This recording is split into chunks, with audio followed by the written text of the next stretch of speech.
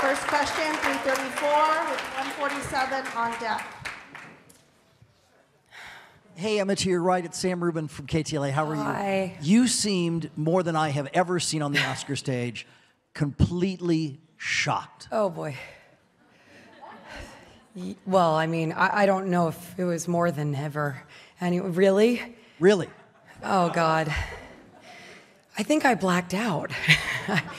um, yes, I was very shocked. I still feel like I'm I'm uh, spinning a little bit. So yes, it was. It's a it's a huge honor, and I, I'm very yes, I'm I'm uh, very surprised. Next question, 147.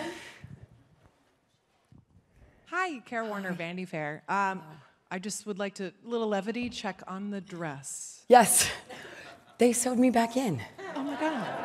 They, right when I came back, they sewed me back in, which was wonderful. I, I genuinely do think I busted it during I'm Just Ken.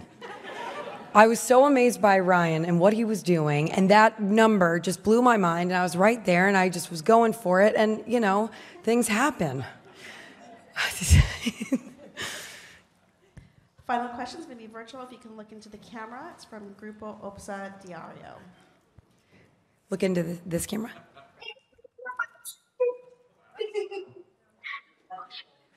You listen to me? Hi, yes. Hello. Okay.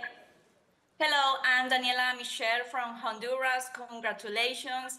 You look beautiful, Emma, tonight. Thank you.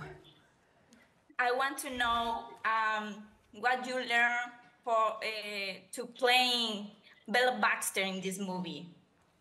What I learned from playing Bella Baxter. yeah.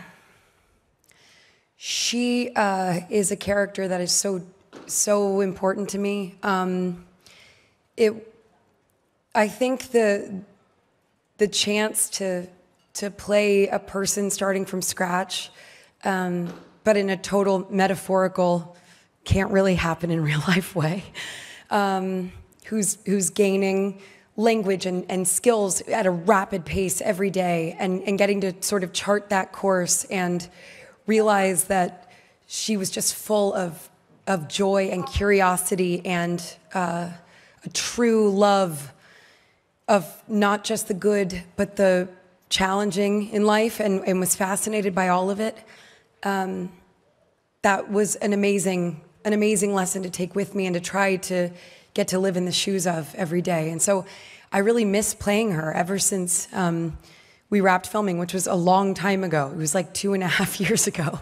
Um, I, I miss Bella, and uh, I'm, I'm really grateful that we got to, to celebrate the film um, tonight and over the, these past few months. And uh, yeah, I just, I love her. Congratulations. Thank you very so much. Thank you. Thank you guys so much. Is it? Okay.